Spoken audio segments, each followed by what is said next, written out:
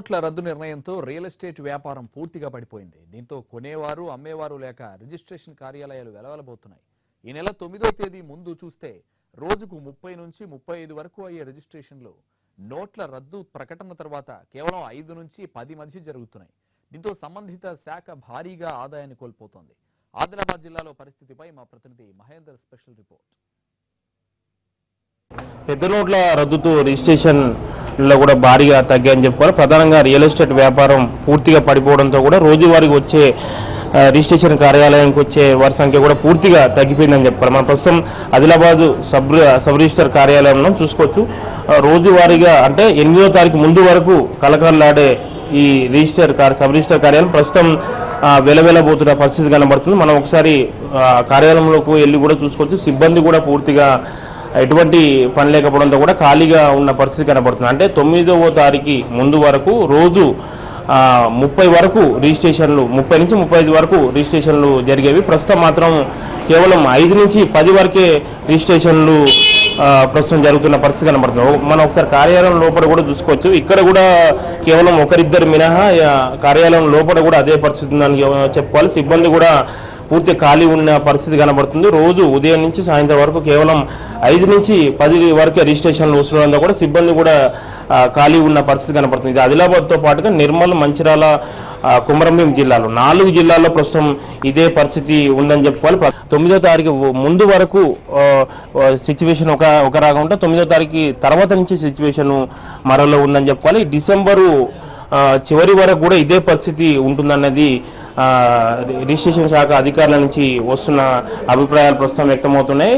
అదేవిధంగా అటు ప్రధానంగా అటు నిర్మల్ మంచిర్యాలలో కూడా మొదటి వరకు కూడా గ్రోత్ గ్రోత్ కూడా భారీగా పెరిగిందని చెప్పుకోవాలి. ప్రస్తుతం మాత్రం ఇప్పుడు పూర్తిగా పడిపోయిందని చెప్పుకోవాలి. రిజిస్ట్రేషన్ శాఖ అధికారులు ఉన్నారు.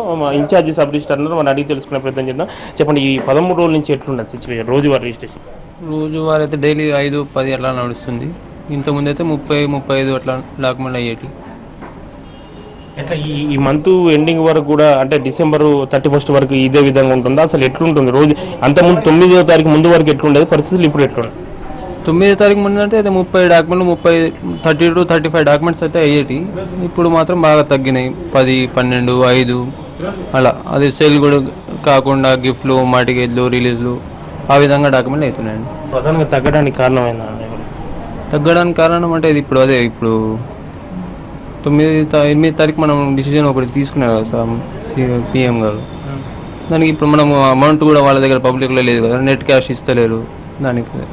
అంటే ప్రధానంగా ఈ నోట్ల రద్దు నిర్ణయం తర్వాత మరుసటి రోజు నుంచి కూడా భారీగా రిజిస్ట్రేషన్ల సంఖ్య తగ్గిందని రోజువారీగా గత తొమ్మిదో తారీఖు ముందు వరకు కూడా రోజువారీగా ముప్పై నుంచి ముప్పై ఐదు రిజిస్ట్రేషన్లు అయ్యేది. ప్రస్తుతం మాత్రం కేవలం ఐదు నుంచి పది రిజిస్ట్రేషన్ల వరకు కూడా అవుతున్నాయని కూడా sub register incharge Adilabad sub sub register incharge కూడా చెప్తున్న పరిస్థితి కనబడుతుంది. అంటే ఈ పదమూడు రోజుల ఆదాయం విషయానికి వస్తే పదమూడు రోజులలో కూడా కేవలం తొంభై లక్షల తొ- తొమ్మిది లక్షల వరకు ఆదాయము వచ్చింది. అదే అయితే సాధారణ రోజుల్లో రోజు ఐదు నుంచి పది లక్షల ఆదాయం వస్తుంది. అలాంటి పదమూడు రోజులు కేవలం తొమ్మిది లక్షల ఆదాయం వచ్చిందంటే ఈ రిజిస్ట్రేషన్ పరంగా కూడా ఆదాయం ఏ స్థాయిలో కూడా పడిపోయాయని చెప్పుకోవాలి. ప్రధానంగా మాత్రం ఈ నోట్ల రద్దు నిర్ణయంతో కూడా పెద్ద నోట్ల రద్దు నిర్ణయంతో కూడా ఈ ఈ రియల్ ఎస్టేట్ వ్యాపారం భారీగా అంటే పెద్ద పెద్ద ఎత్తున పడిపోవడంతో కూడా ఇక్కడికి వచ్చే రోజువారీగా వచ్చే కార్యాలయానికి వచ్చే వారి సంఖ్య కూడా రిజిస్ట్రేషన్ల పరంగా ఇటు అమ్మడం కానీ అటు కొనడం కానీ వచ్చే వారి సంఖ్య కూడా